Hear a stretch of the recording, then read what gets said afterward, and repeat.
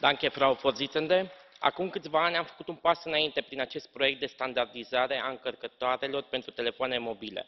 Un proiect care s-a dovedit benefic pentru consumatori.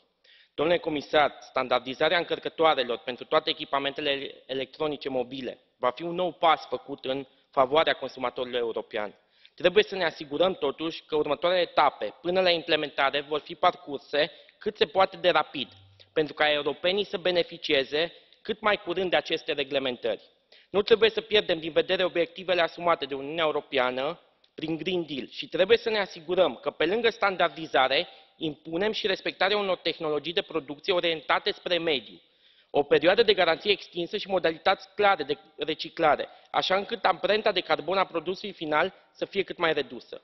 Aceste prevederi trebuie să fie respectate atât de încărcătoarele produse aici, în Uniunea Europeană, dar și de produsele importate pe teritoriul Uniunii. Vă mulțumesc.